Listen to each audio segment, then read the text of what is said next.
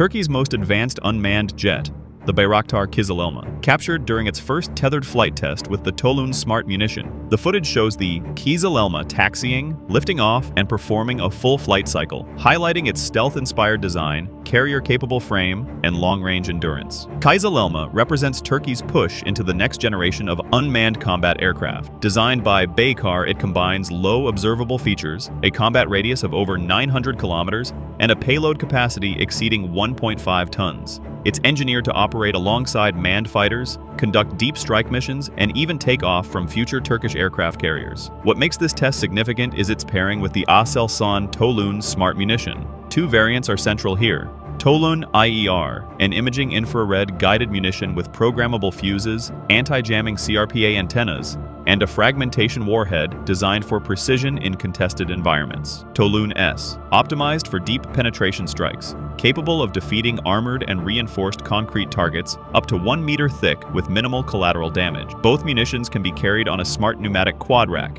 meaning Kızılelma can launch multiple precision strikes in a single mission. This pairing marks a strategic leap for Turkey's defense industry, combining stealth drones with indigenous precision weapons, resistant to electronic warfare. Beyond the battlefield, it reflects Ankara's defense strategy of technological independence, reducing reliance on foreign suppliers and positioning Turkey alongside nations like the US and China, who are pursuing similar unmanned stealth strike aircraft.